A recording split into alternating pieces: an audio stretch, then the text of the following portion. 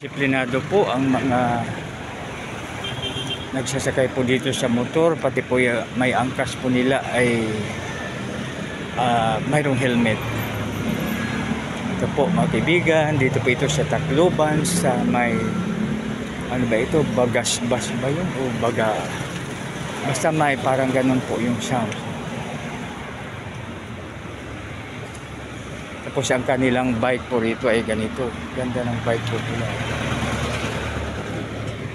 Ito yung mga bike po. Ano?